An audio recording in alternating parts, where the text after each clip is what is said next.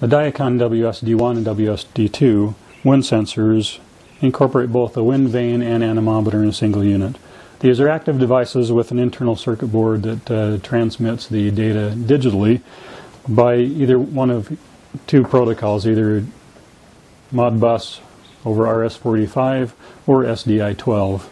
Even though they're active devices, they still operate at very low current, less than 2 milliamps average on Modbus when powered by 12 volts. The input can be powered with either 12 or 24 volts. This makes it compatible also with uh, 20 volt, 24 volt powered programmable logic controllers or PLCs. Some of the advantages of the uh, Dyacon wind sensor include the construction, which is anodized aluminum. We also incorporate uh, ceramic hybrid bearings. These are custom specified bearings to meet our needs with uh, for low turning torque and longevity.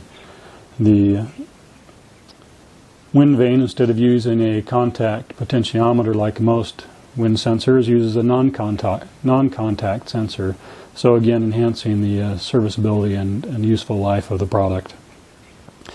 One of the advantages of the Dyacon wind sensor is the ease in mounting. The mounting tube has been designed to fit over a, a three-quarter inch pipe.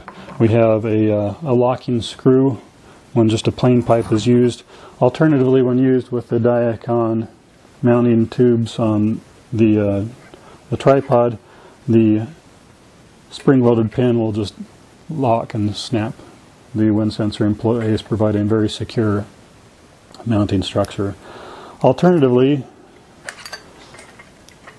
the uh, wind sensor can be mounted to a one inch pipe by removing the locking screw. Standard pipe fittings will fit over the base. The cable routing can be either run externally, such as we see here, or routed internally to provide a, a protected cable run. Routing the cable through the inside of the mounting tube allows for an elegant installation with a protected cable route.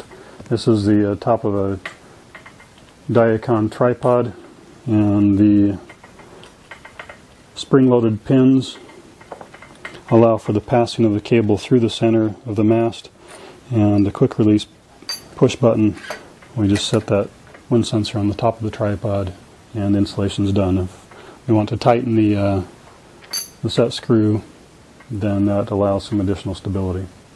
In addition to the unique mounting features of Dyacon WSD 1 and 2 are field serviceability features to allow for easy in-field repairs. The first is a simple screw on the top for the vane that uh, remove the screw and simply withdraw the vane and insert the new one. Same with the fin. The, uh, each of the anemometer cups and spokes can be removed, replaced with a, a simple set screw. The device can be re remain in the field and uh, be restored to service uh, very quickly.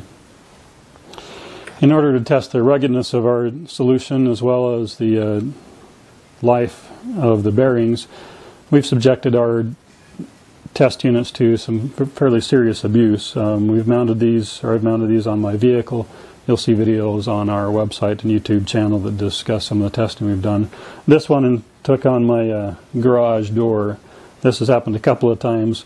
Uh, in this case, the uh, the pipe was fully bent over and broken, the, mount, the mast, yet the anemometer still remains intact.